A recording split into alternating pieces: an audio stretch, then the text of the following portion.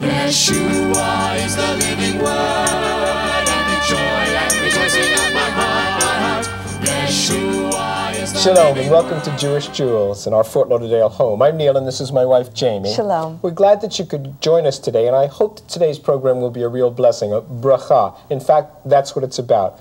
The most popular blessing for Jewish Mm-hmm. people and also for non-Jews as well. And you know, this bracha Neil has various names. It's called the beautiful benediction, the priestly benediction or blessing. In churches, it's called the Aaronic benediction. It's a threefold blessing that conveys volumes of faith and trust in God. Birkat Kohanim in Hebrew. Yeah, and here it is in the book of Numbers, the sixth chapter. Yivarechecha Adonai v'yishmerecha, the Lord bless you and keep you.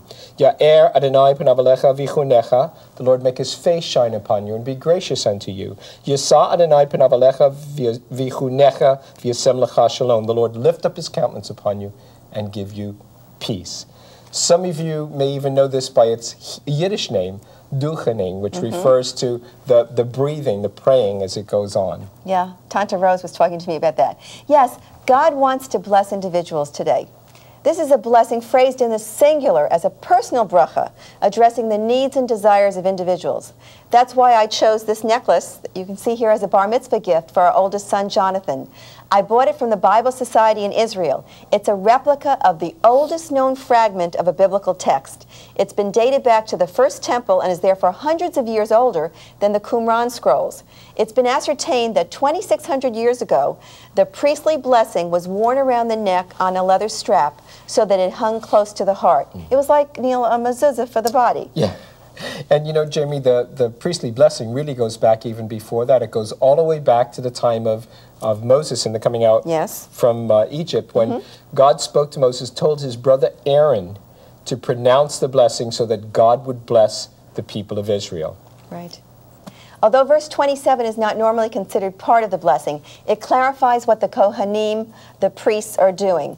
So shall they put my name on the children of Israel, and I will bless them. God's the only source of blessing in the Tanakh. His presence confers blessing, and only in his name, which of course is the manifestation of his very nature, can others, the Kohanim, confer blessing.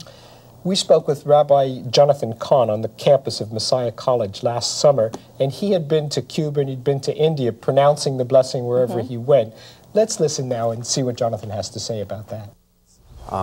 from the tribe of Levi and um, from the house of Aaron. So it, it said the children of Aaron were to give this blessing to the people of Israel, the children of Israel. Uh, and they would often lift their hands like this, which was the sign of the Shekinah glory.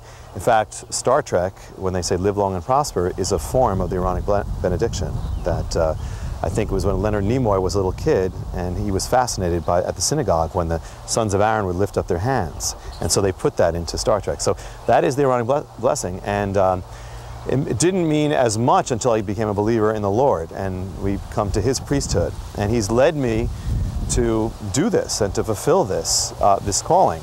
When I came into ministry, he gave me scriptures about Aaron and his sons. So only in Messiah, Yeshua, Jesus, as a Jew am I fulfilled, and as a son of Aaron am I fulfilled.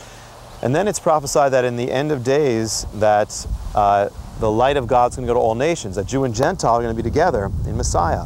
And so he's called us now as Jewish believers and as Gentile believers to be lights to the nations and to go out. So this year, he's called me and he's called you to go to the nations. So the first nation I was called to was India. And so, you know, they had never seen a Jew there before in their lives. And they never saw a Jewish believer there in their lives. And, and except they knew about a Jewish believer, Thomas, who brought them the gospel. So I was walking in his footsteps. So, so uh, when I went there, I stood before about 100,000 Indian people in robes, seeing a Jewish person, and I lifted up my hands, you know, and they bowed their heads, and I did the Aaronic blessing for the first time in Madras. You know, I chanted it to them, and then they translated it into Tamil language.